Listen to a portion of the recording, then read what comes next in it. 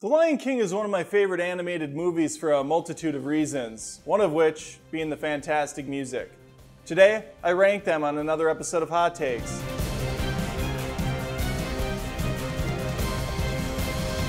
This is the morning report.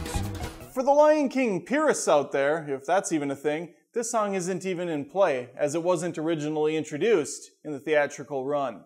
Zazu's Morning Report was injected into the film at the 10th anniversary platinum release. Although the creators and most of the cast match the art and sound perfectly, it feels very out of place and doesn't move the needle on the story. It's a case where more isn't necessarily better. Can you feel the love tonight? This is the only song and small portion of the film I could skip right over and not lose an ounce of sleep about. Watching some lions frolic and play in some sort of incestual mating ritual never struck a chord with me. Joseph Williams and Sally Dworsky have great singing voices, but the love story aspect, no.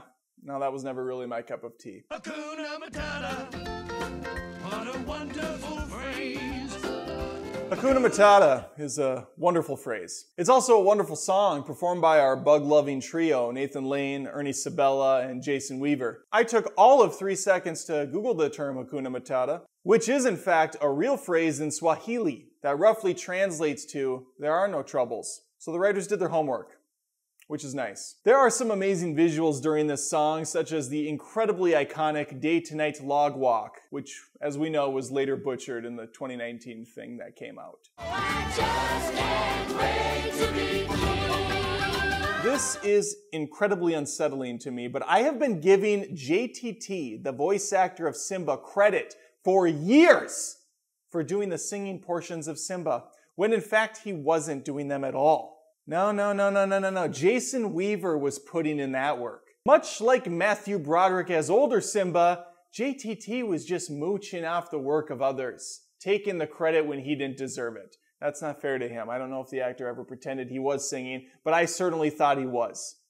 And that's on me. Jason Weaver crushes it as the stuck up little rascal Simba, parading around the Pride Lands, proclaiming how he can't wait for his dad to die so he can be king. Obviously, that wasn't his intent when he was singing the song, but that's kind of how it comes out, Simba.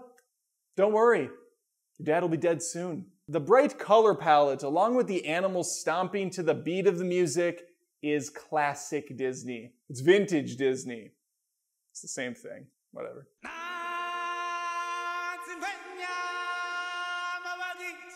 This is how you open a film. Carmen Twillie is not messing around on the vocals. She gives the audience the lowdown on the circle of life and the prestige that comes with such a position of power. Being a lion is a pretty sweet gig. Your food will come out and bask in your greatness as you're welcomed into the pride via ceremonial forehead branding by a wise old baboon. Yes, my teeth and ambitions are bad.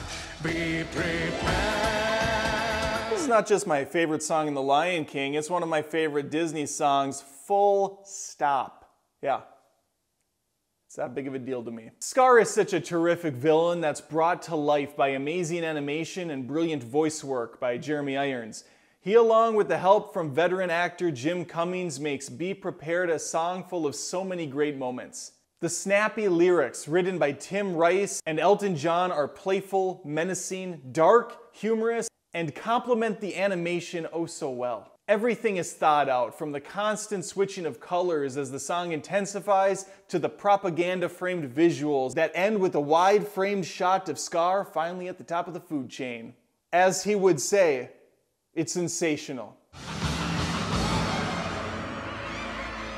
There are not as many songs on the Lion King soundtrack as I initially thought. There are some smaller moments that perhaps threw off my count, so let me give a special shout out to Timon and Pumbaa's The Lion Sleeps Tonight, their hula dance number, and Scar just living his best life with Zazu, singing I've Got a Lovely Bunch of Coconuts. Well, that's my ranking. It was nice, it was simple, it was short, it was perfect. But in case you don't think so, let me know yours in the comments below. Like the video if you like the video, subscribe for more rankings, hot take type things. I have plenty more on the way. So hopefully I'll see you around on the next episode of Hot Takes.